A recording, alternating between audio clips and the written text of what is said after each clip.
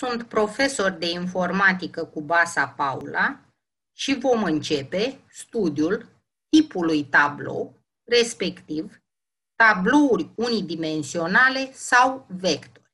În această lecție veți învăța ce este tipul tablou, să definiți noțiunea de vector, să declarați un vector, să citiți un vector de la tastatură, să accesați elementele unui vector și să afișați un vector. Tipul tablou. Tabloul este un tip de date structurat în care toate elementele sunt de același tip, numit tip de bază al tabloului. La elementele tabloului ne putem referi folosind indici. În C++, tipul tablou se declară astfel. Tip. Numele tabloului, dimensiunea 1, dimensiunea 2, până la dimensiunea K, unde tip este un tip predefinit ce corespunde tipului componentelor tabloului. Dimensiunea 1, dimensiunea 2 până la dimensiunea K sunt limitele superioare ale indicilor tabloului.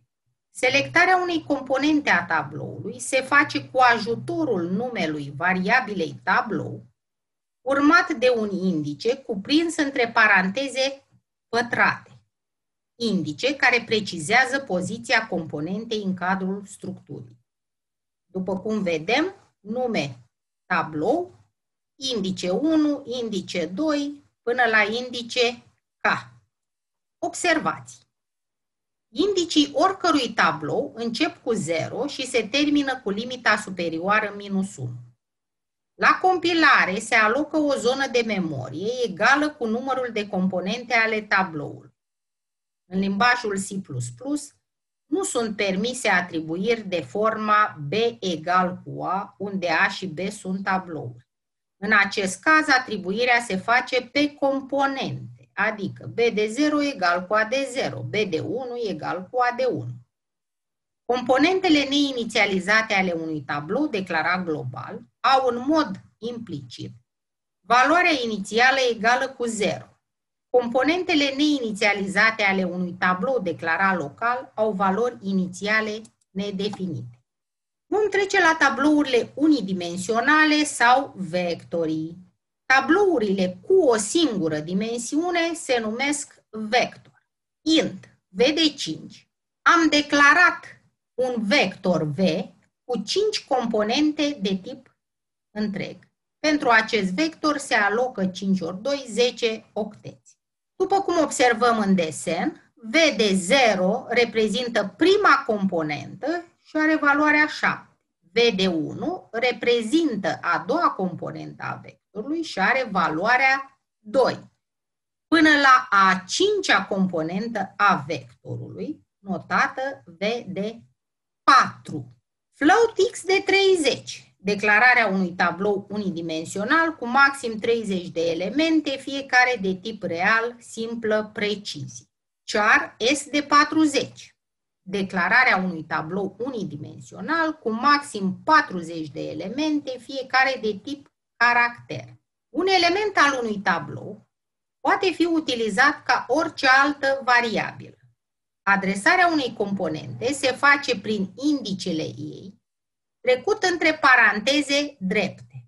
Se pot efectua operații asupra fiecărui element al tabloului, nu însă asupra întregului tablou. Inițializare.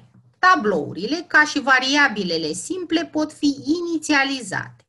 Tablourile globale se inițializează prin definițiile lor la compilare, iar tablourile locale se inițializează prin declarațiile lor la execuție.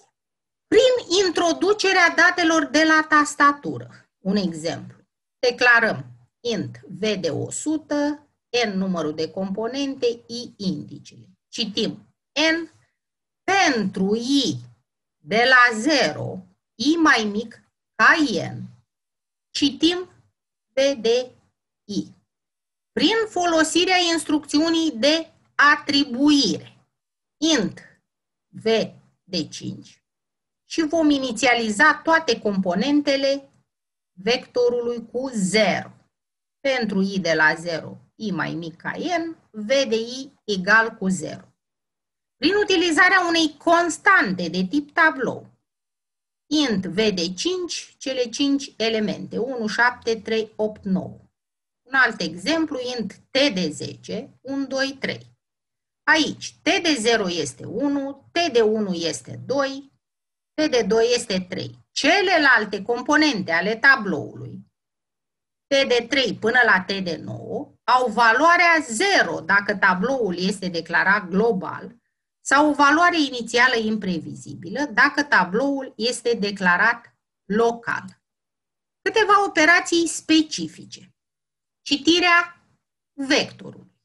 Declarăm vectorul V de 50, N și I. Citim N, pentru I de la 0, I mai mic ca N, I++, sin V de I. Afișarea componentelor pe aceeași linie. int V de 50 la fel declararea, for I de la 0, I mai mic decât N, I++, si out V de I, cu spațiul de rigoare dintre componente. Dacă dorim afișarea componentelor pe linii diferite, atunci pentru i de la 0, i mai mic ca n vom folosi Cout VDI, and l și vor fi afișate unele sub altele. O aplicație simplă care începe prin declararea vectorului v, i și n, contorul i, respectiv numărul de elemente din vector, citim numărul de elemente, citim vectorul folosind contorul i, dacă dorim o citire mai frumoasă, atunci putem să punem un cout elementul să-mi apară elementul 1, elementul 2 al vectorului.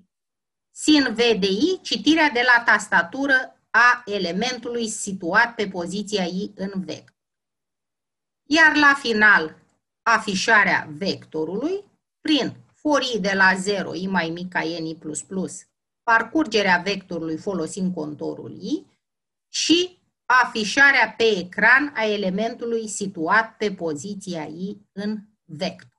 Lecția se va încheia cu câteva exerciții de verificare a cunoștințelor acumulate pe parcursul ei.